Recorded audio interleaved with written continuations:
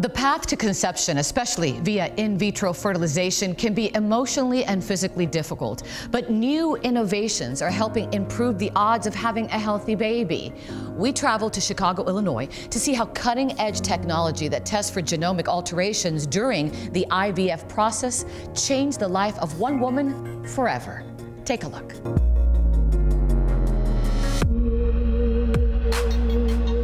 It's a typical day for Laurie Seiwert, a field-based employee of Thermo Fisher Scientific, making calls before she heads out to meetings.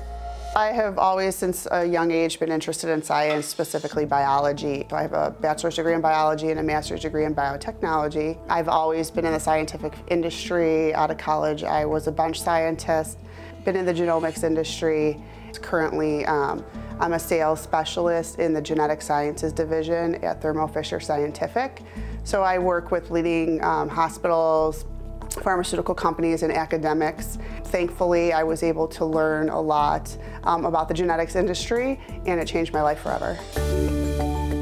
In the course of her job, she learned from researchers and publications about advances being made in genetic testing and reproductive health. I was able to educate myself on the screening tools that are available for inherited diseases, and I learned more about the tools available where I could increase the chances um, of having a successful outcome. But starting a family wasn't on her immediate agenda. I uh, was traveling the world for my job, I was developing my career, and it wasn't really until I was about 37 or so that I thought, wow, maybe I think I might want to have a child one day. I'm not ready yet. I know as you get older, um, the egg quality um, diminishes over time. So I was a little bit worried about that. So I wanted to get started sooner rather than later. So that's when I reached out to Fertility Centers of Illinois um, and froze my eggs. She met with Dr. Brian Kaplan, who would guide her along her reproductive journey. So Laurie came in at 38 years old and she decided, I'm going to freeze my eggs. That's a dramatic decision. That's a technology that's right in its infancy. You don't know if those eggs are going to survive, so that's a big decision for a woman to make at that time on your own. So she did IVF. You have to do the first part of IVF, where we stimulate the eggs, we retrieve the eggs. We got eight eggs the first time. We then froze again a few years later, twice more, and we had a total of 14 eggs. At age 43, Laurie was ready to start her family as a single mother by choice. Even with 14 frozen eggs, she knew her chances were slim. 11 survived the thaw. It was time to use the advances in genetic testing to her advantage, beginning with the donor sperm. I chose a donor that had gone through expanded carrier screening.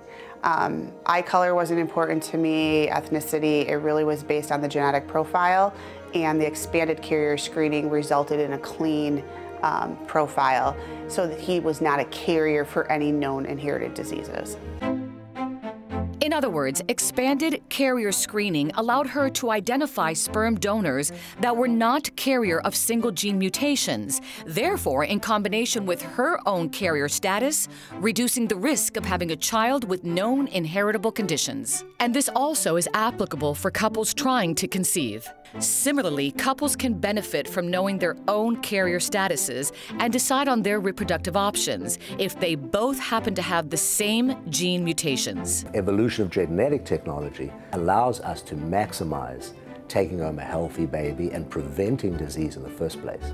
So that paradigm shift which has occurred is as a result to a large degree of genetic testing evolution. One of those tests is pre-implantation genetic testing. PGTA detects which embryos have chromosome copy number change, which we call aneuploidy, which means either having less than 23 pairs of chromosomes or more than 23 pairs in embryos. PGTA can also detect smaller segmental changes of aneuploidy. Chromosomal aneuploidy can account for more than 50% of miscarriages. You then have to fertilize the eggs with a sperm. So now you take another variable into the equation. And we had eight out of 11 fertilized, which is a normal fertilization rate. So already things are going well. Functionality is being proven. Once the egg fertilizes and becomes an embryo, the embryo has to grow in the dish. And it grows for five to six days. So, in Laurie's case, eight eggs started to divide with the sperm. Five made it to pre-blastocyst, embryos that successfully divided to a stage that can grow to the next stage. Four made it to blastocyst and were sent for PGTA. I asked my friends in the reproductive health division for a lab that ran a validated PGTA test, and they found Igenomix USA. That was probably the most nerve-wracking time of the entire process, waiting to hear the results.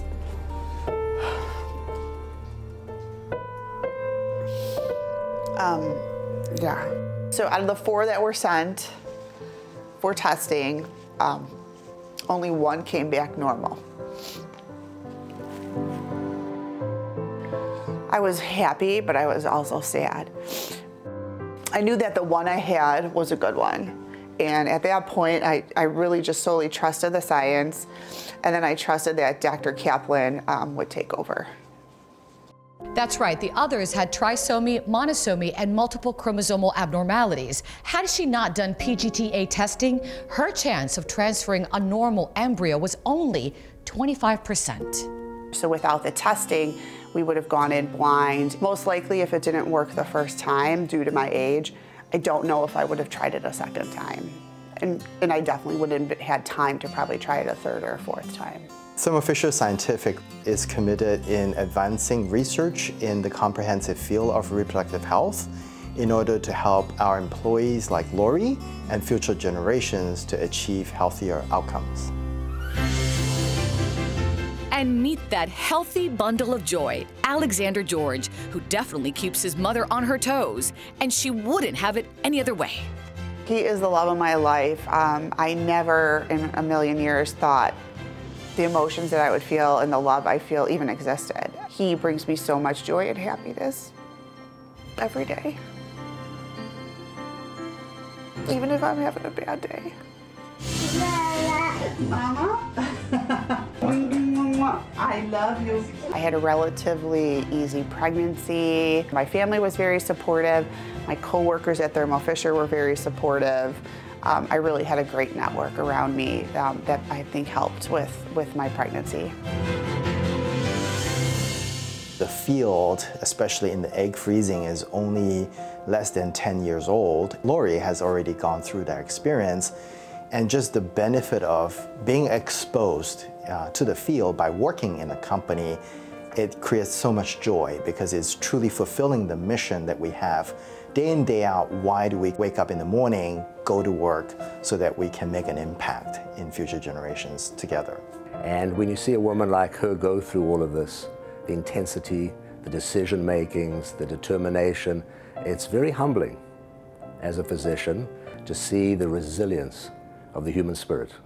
Unless it's against your own religious beliefs, I believe that the PGTA testing is critical.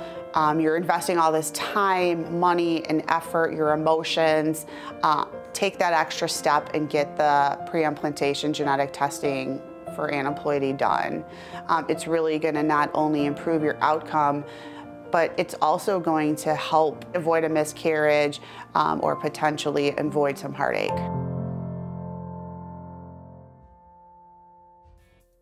If you or someone you know is going through IVF, make sure to ask your fertility clinic about PGTA and expanded carrier screening, which allows all to make the best, most informed decisions. Head to our website, thebalancingact.com, for more information.